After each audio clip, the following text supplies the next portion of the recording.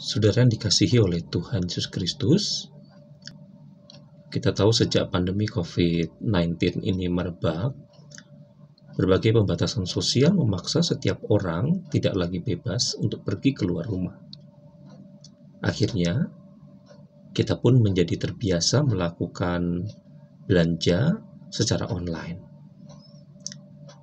Nah, saya pernah melakukan sebuah pembelian produk yang sangat saya inginkan secara online.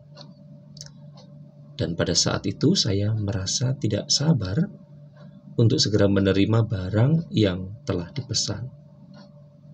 Karena kebiasaan sebelumnya, jika kita membeli secara langsung, maka barangnya didapat saat itu juga. Berbeda dengan online.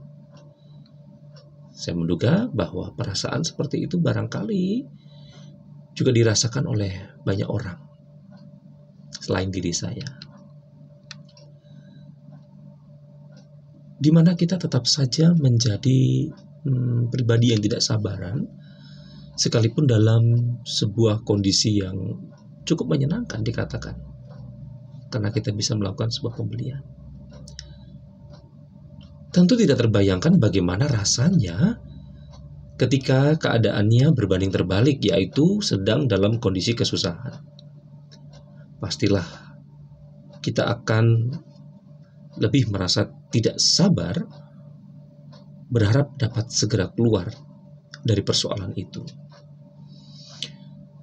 Kita tidak sabar menanti pertolongan segera datang. Tetapi firman Tuhan pada saat ini tidak mengingatkan kita agar kita diajar untuk selalu tabah. Sebab apa? Sebab kita tidak terus menggantungkan harapan kita hanya kepada Tuhan. Kata tabah dalam Kamus Besar Bahasa Indonesia diartikan kuat hati.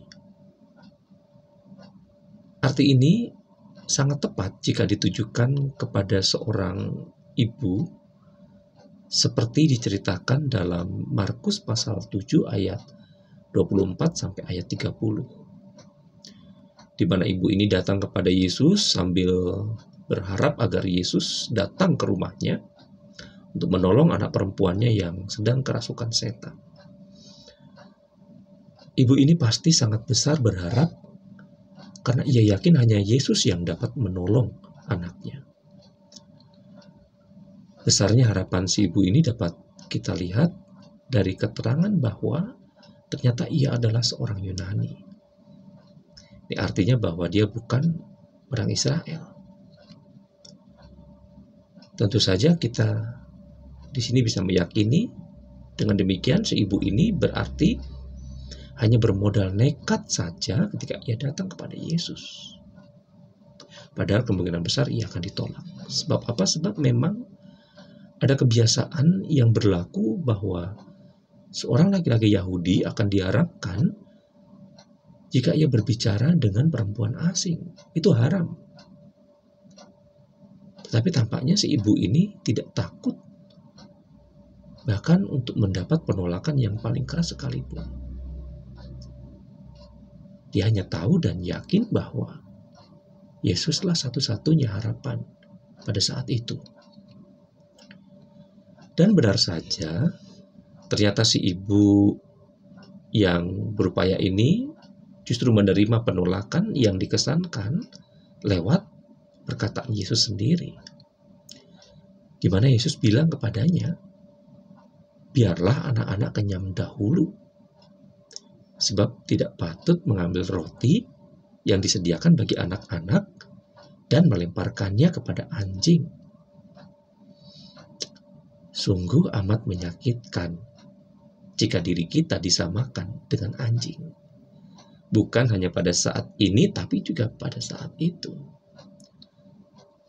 Tetapi kita tidak tertegun di sini, melihat kekuatan hati si ibu yang tidak menjadi mundur atau dia menyerah. Justru ia berkata, "Benar, Tuhan." Ini sebuah kesadaran yang amat mendalam mengenai siapa dirinya di hadapan Tuhan. Saudara terkasih, memang seharusnya demikianlah kita juga menyadari kehinaan kita di hadapan Tuhan. Bahwa mau disamakan dengan apa pun juga kita ini memang pada hakikatnya adalah hina dan tidak layak. Tapi kita bisa belajar dari si ibu ini bahwa kita hanya bisa berharap remah-remah saja. Dan itu sudah cukup bagi hidup kita. Bukan sebaliknya di mana kita justru kerap ngelunjak istilahnya. Tidak tahu diri. Kita merasa layak dan harus mendapatkan roti itu. Kita menakih bahkan memaksa mendapatkan makanan yang di atas meja makan itu. Padahal kita adalah anjing, hina, tidak layak.